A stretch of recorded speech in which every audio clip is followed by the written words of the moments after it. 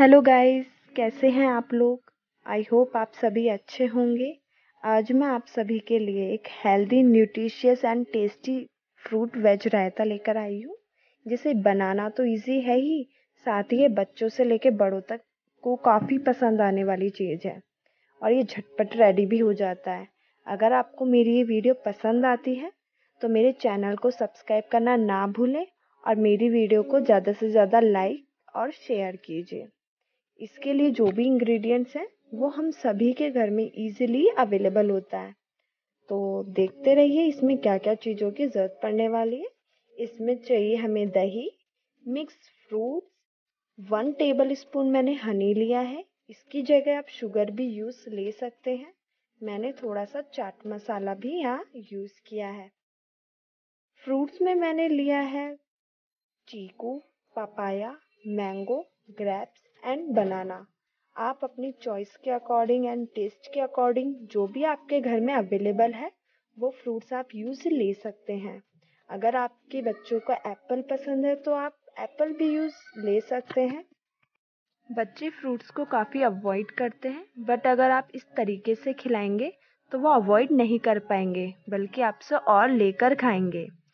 इसमें मैंने जो फ्रूट्स लिए हैं, सारे सीजनल फ्रूट्स हैं आप इसमें कुछ फ्रूट्स स्किप भी कर सकते हैं, या फिर अगर आपको कोई और फ्रूट्स पसंद है तो वो भी ऐड कर सकते हैं।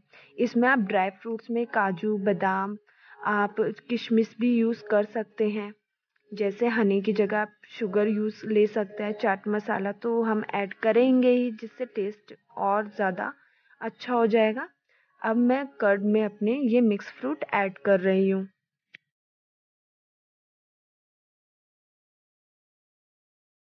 इस वेज रायता में जो हम फ्रूट्स ले रहे हैं वो इसलिए ले रहे हैं जिससे बच्चे इजीली खा लें वरना आजकल बच्चे इजीली कोई फ्रूट नहीं खाते हैं। ये देखिए मैंने इसमें आ, मिक्स कर दिया है मैं ऊपर से चाट मसाला ऐड कर रही हूँ।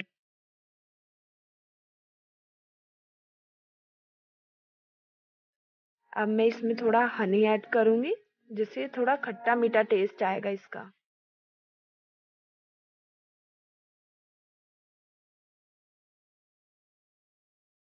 अब हनी ऐड करने के बाद मैं इसे अच्छे से मिक्स कर लूँगी।